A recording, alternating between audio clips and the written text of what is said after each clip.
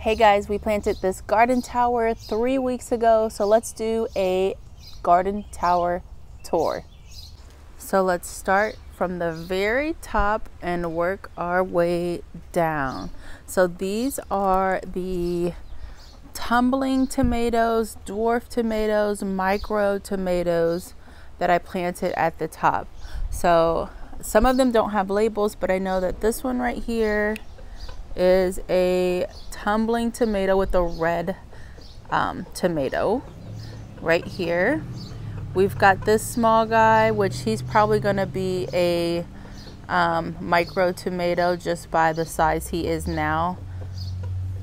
This guy looks like he might be a tumbler, and the tumbling tomatoes are meant to cascade over um, whatever you put them in. These guys, I didn't let them cascade and I probably should have, but I didn't really want them to cover up any of the things that are below them. So I want everything to be able to get an adequate amount of light. So I went ahead and took some bamboo stakes and I took actual like twigs from the garden and I staked them up so that it would be some sort of neatness up there.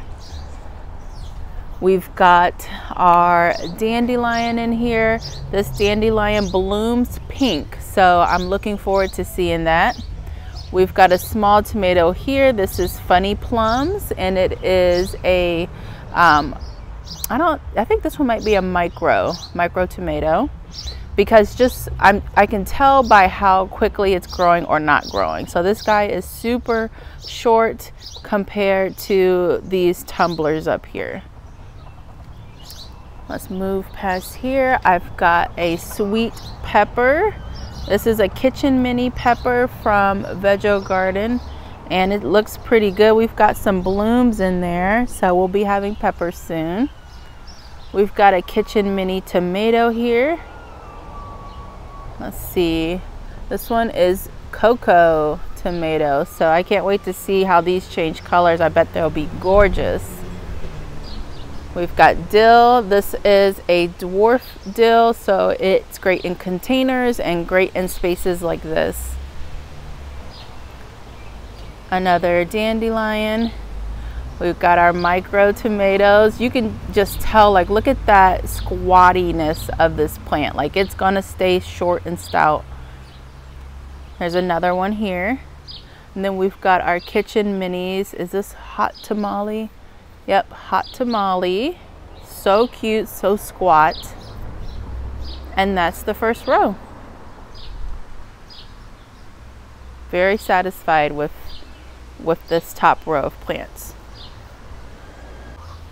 All right, now we're moving down to the second row and we've got some basil here. This will be the next thing that I come out to harvest and pinch. We've got some sorrel which looks absolutely beautiful. I love the red veining of these leaves. It's looking really good. It was very pathetic when I planted it in three weeks ago. My tarragon, if you watch my last video, whoop, sorry, I just harvested from the tarragon and dried it stevia as well. We just harvested in the last video. I cannot wait to start using stevia. Stevia is a sugar alternative so I'm excited. I, I'm trying to get my health and life together so I'm I'm learning about different herbs and plants um, and just trying to eat much better. So right here we have an oregano. Yes oregano. Sometimes I have to smell them to remember because this kind of looks like a little mint plant. Next up, we have a sage. I'll look up the exact variety of this sage, but it is absolutely gorgeous. If it's fuzzy, I want it. And look at this, the new leaves are so fuzzy. Look at that. So beautiful. And then that fuzz kind of starts to go away as it ages. Beautiful plant. This right here is, I believe this is marjoram. Oh, it smells so good. It smells to me like fresh laundry, but it smells so good. But I, I do believe that is marjoram. We've got another basil ready for clipping. Actually, no, this is this is basil from row three. It's just that tall. So that's basil row three. Introduce yourself. Hello. We've got some sage here. Mmm, smells amazing. Right here we have lovage. And I grew a lot of lovage last season and I didn't really make use of it. So this year I definitely want to make use of it for sure. Um, I have to look up some recipes. I'm definitely gonna probably dry it and for sure dry it for later, but I definitely want to try it fresh too. And then I think we're back at the beginning with this basil and sorrel. Sorrel. Sorrel. I think that's I think that's the right way to say it. All right, now let's move down to row three. Okay, row three brings us to our tall basil that was interrupting row two. Gosh, this thing is huge. I definitely need to harvest this very soon. What's next on row three? Oh, we got a ground cherry. Now this is a pineapple ground cherry. I've been so excited to try other ground cherry flavors. Um, I grew ground cherry two years ago and wasn't really impressed with. I think it was Aunt Molly's ground cherry. Wasn't really impressed with the flavor, but I'm interested in trying other flavors to see if we like them and see if we can incorporate them in any way into our meals. This right here is chamomile and it's already in bloom. Look at that. I will be drying the chamomile flowers and having them for tea. Um, I'm looking so forward to that. And the foliage is just gorgeous. It's so fine. It's so soft. I love it. Right here is parsley, I believe. Let me let me taste it because this was the one that I did not label. Let me taste a little bit. Oh yeah, that's a that's a variety of parsley. I'm not sure which variety, but it definitely has very fine foliage, unlike, um, you know, your common parsley. I'll have to dig through my seed order um, invoices and see exactly what this babe is. Let me try it another piece because I just want to make sure. Yeah, that's parsley. I don't like parsley fresh. The flavor to me is ugh but parsley dry and in Italian seasoning mixes, the best. We have a stevia here. This one got harvested. You can see from right there, that stem. That's where I made the cut. The next one is another sage. This one, this sage, I wonder if it's getting enough light. Well, actually, oh, okay. I thought it was kind of puny, but it's actually kind of long. So we'll, I'll leave him alone. We've got another basil here. This guy looks like he is trying to go to flower. So I'll definitely pinch him very soon. We've got another fuzzy sage. And then we are back at the beginning with the oregano. So now let's jump down to row one, two, three, four.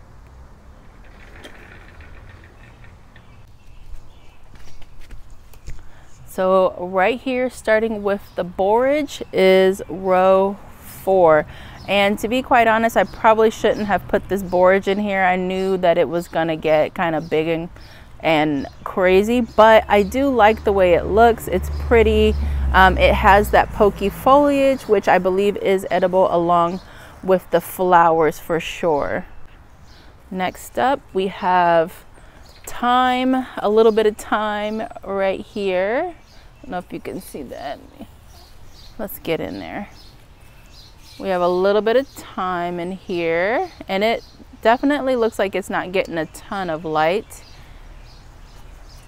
And it could be too, maybe I'm not rotating it enough to that area, this like rotating the entire planter, but I'll keep an eye on that. Next up we have marjoram and this one is doing really well. This plant looks absolutely gorgeous. Next we've got a dill. This dill is actually going to flower and this year I'm not really, if my plants go to flower, I'm not really fussing about it. Plants that probably that you want to harvest before flower. I'm not really fussing about it. So this guy can go ahead and flower and bring in some pollinators. Right here, we've got some thyme. Here is, ooh, watch out guys, this one's in the way. We've got parsley here. Looks really good. Tastes, ugh, when it's eaten fresh, but great when it's dried. Next up, we have a tomato plant in here. This guy looks pretty good. He's flowering, so that means he is going to be putting out fruit really soon. I don't remember exactly which tomato this guy is, but we will see soon when he starts to um, develop his fruit. Next up, we've got a basil. This guy looks like he is working on his flower too. Uh, but and then he's got this big gap right here and i'm guessing he was stretching for light and that's why he's got that big big space between his uh, leaves. Parsley. And then we are back at the borage.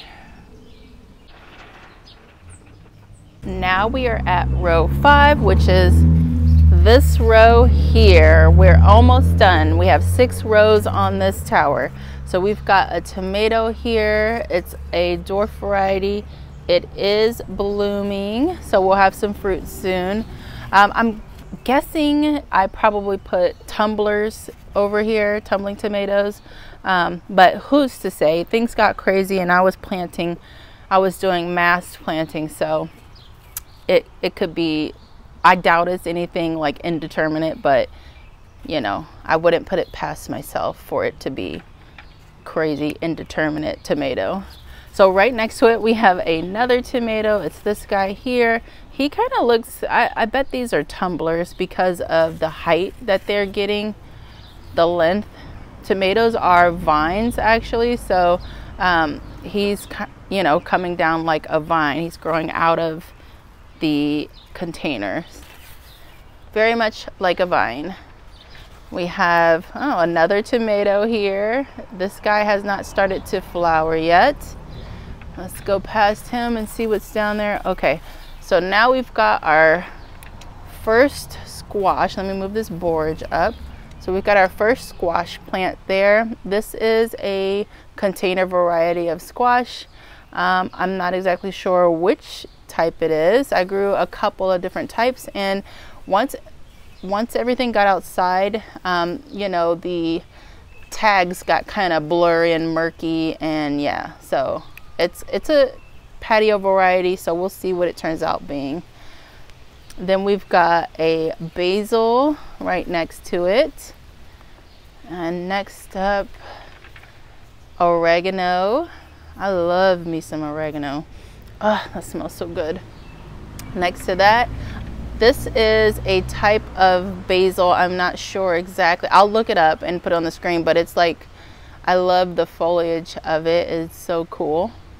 And that's why I chose it. Super cool leaf. Then we've got sorrel again, red vein sorrel. Now, is this the beginning? Because I see two, a tomato here and a tomato here. So we might be back at the beginning again. Yes, we're at the beginning. Now it's time for the last row, row six. Last but not least, let's start with this borage here. So here are the borage flowers. These are edible and you can use them in anything. So salads, I've seen people freeze them into ice cubes and put them in their drinks. Um, at the moment, I, I am blanking on other uses, but yes, they're edible and you can use them for many things. Moving aside, we've got some stevia down here. This base or this borage is so prickly and so itchy. But we've got stevia down here looking amazing. Next to stevia, we've got another one of those um, parsley plants. This one is super tiny. It's getting, you know, these leaves are blocking the light from it. I'll have to cut those back so it can get more leaves. It's okay to cut back some of your squash um, leaves if necessary. I wouldn't, I wouldn't cut back too many, but definitely if you need to add an airflow for other plants around your squash, you can cut those um, leaves back a bit. So next to that is another squash. And this one has a yellow fruit. So let me find it so I can show you. Do you see that? Let me get that leaf. trying not to break anything. So there it goes. Little squash plant. Super cute. And then what's next? Another squash right beside it, which actually is genius on my part because then it makes it easier for pollination if you have your squash plants close together. So this one has another yellow um, squash on it. We've got some little flowers that are yet to open, but we can see that these are going to be a yellow squash. Next to that, we have a dandelion. Can't wait to see that pink dandelion bloom. Dandelions are 100% edible. There's another dandelion. I put two of them together. And then we have parsley down here looking great. This parsley looks amazing, healthy, happy. And then another parsley. I don't know what's going on with the planting. I must have got real tired by the time I got to the bottom row as far as like spacing out, you know, different things, but it's okay. But these two look gorgeous. They look happy and healthy. And then here is that borage from the beginning of row six.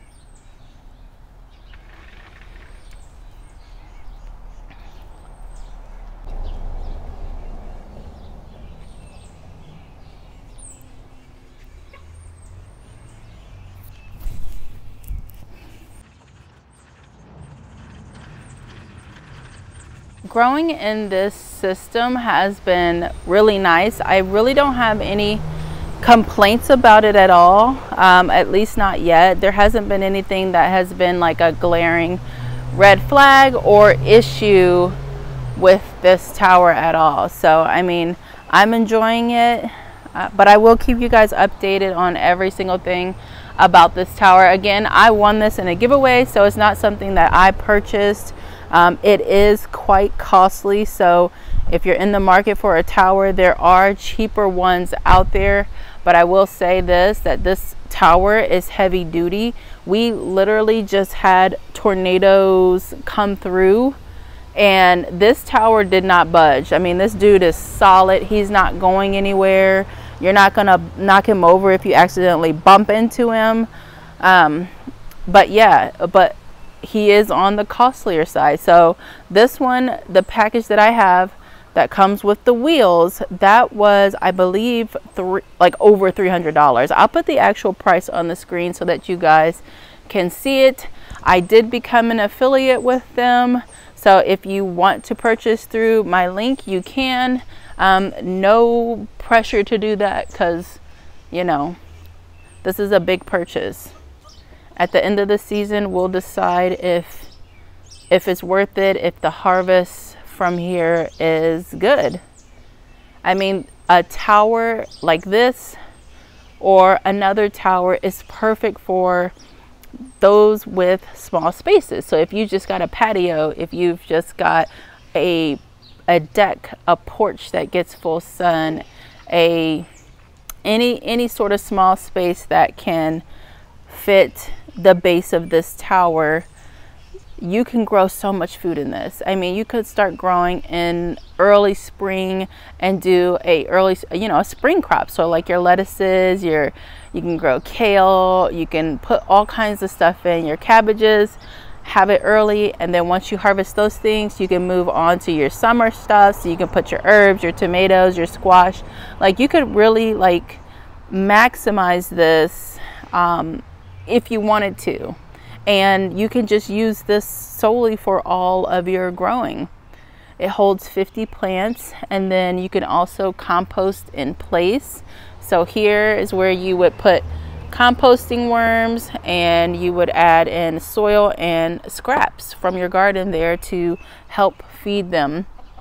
And what the worms will do, there's that tower has lots of holes throughout it so the worms can crawl out of the holes into your garden or like into the soil. They can eat material from there. They go back into the middle of the tower, lay their castings, and then you harvest those castings down here at the bottom. So there's a tray that pulls out and see how that kind of is the filter there with all those holes. And then you can harvest from here. Now there's a lot of water in here because we had a bunch of rain. I'll just dump it out. But typically I just dump it right back into the tower. And it's brown because of the soil. The soil's brown. And then we stick that back in there. So yeah, your castings would be in here and this would help filter them out. So it's a neat little system. Again, it's an investment. So if you're invested in, you know, growing this way and you want to try it out, I definitely at this point would recommend it. But again, I have not gone a full season with this, so I still have many videos to make on this and then um, we'll decide at the end of the season if it is worth the money. So far I'm liking it though. It's been super easy. All right, guys, that's all I have. That's the three week update. So, I mean, these plants have grown a ton since we put them in three weeks ago. And I'll show some before and afters. But yeah, check it out. Let me know if you guys have any questions about this video. If you have any questions about the tower or the plants in the tower, leave them below and I'll answer you in the comments. And then I'll see you in the next video. Bye.